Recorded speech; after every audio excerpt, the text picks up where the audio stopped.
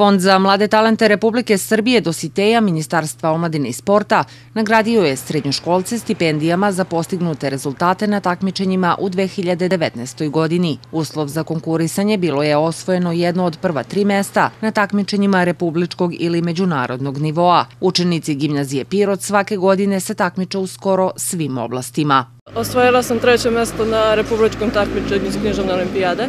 E, u Sremskim Karlovcima i veoma mi znači zato što me podstiče da se takmičim i dalje. Ja sam se istakla u oblasti sporta, dobila sam prvo republičko mesto iz strojaštva i ovo mi je već druga stipendija i prošle godine sam isto dobila isto ovu stipendiju i ove godine sam ostvarila rezultate i za treću stipendiju koja će da bude sledeće godine. Pa, dobila sam je za drugo mesto na republičkom takmičenju književna olimpijada i znači mi jer je to kao novčana nadoknada koju možemo koristiti za ono što nam treba.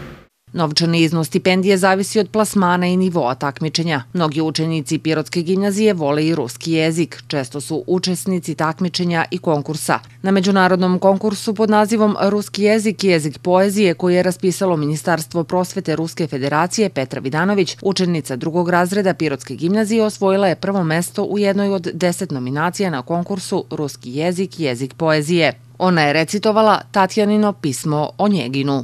Za mene je uspeh bilo to što sam prošla među prvih 50 finalista. I zaista se nisam nadala da ću biti još uspešniji od toga.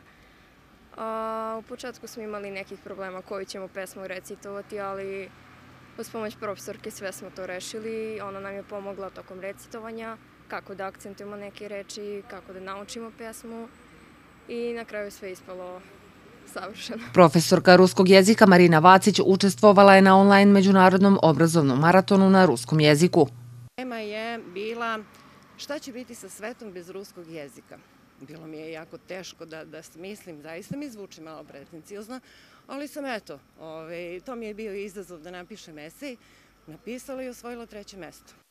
Uspeh učenika ne izoste ni u vreme pandemije koronavirusa. Ipak na sticanju novih znanja ne rade samo učenici, već i profesori, a nagrade redovno stižu.